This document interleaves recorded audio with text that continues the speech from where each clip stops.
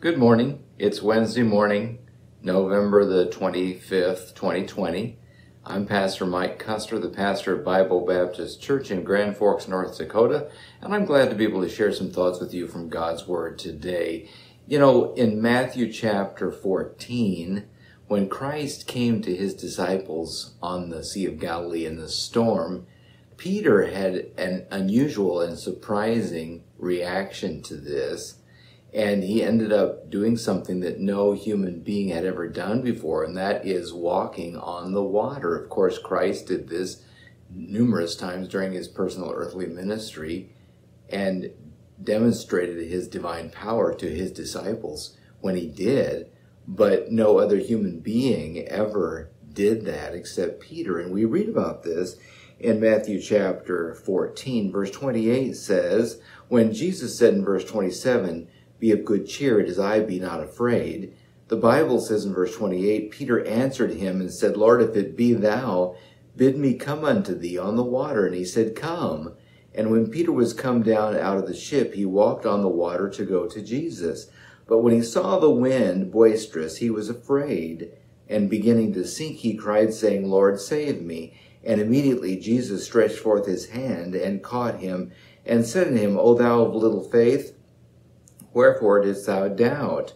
And verse 32 says, When they were come into the ship, the wind ceased. And 33, Then they that were in the ship came and worshipped him, saying, Of a truth, thou art the Son of God.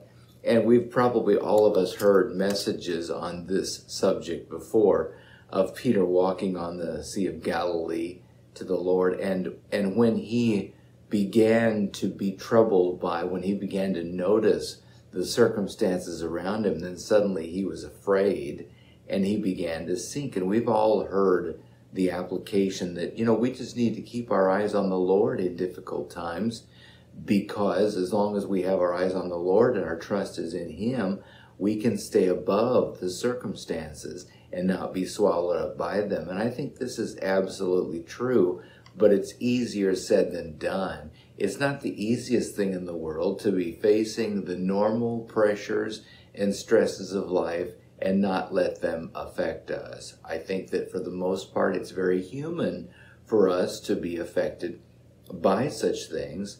And we need to constantly remind ourselves, you know what, this is not a natural uh, thing for me to be being uh, filled with faith and calm, but it's something that the Lord desires for me and provides the resources so that I can be calm even in the midst of a storm and I cannot be distressed. I cannot be worried and carried about with fears, even when I'm on the water, out of the boat and on the water, so to speak. And we use this terminology to refer to life sometimes in the midst of difficulties. We're out of the boat, we're on the water and that's where Peter was, and he was he was um, in an extreme way. He was affected by the circumstances that immediately assailed him, so that he took his eyes off the Lord. And even though he did something that no other human being had ever done before, that is, walking on the sea,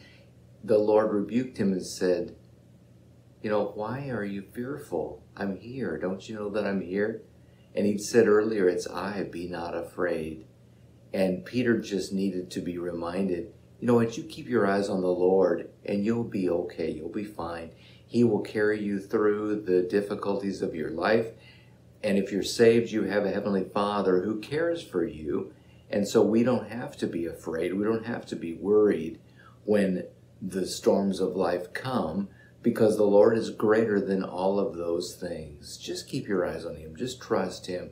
Keep your confidence in the Lord. The Bible says, Cast not away, therefore, your confidence in Hebrews chapter 10. Just keep your eyes on Him and don't worry. Trust the Lord to see you through, and He will and He can. God bless you today.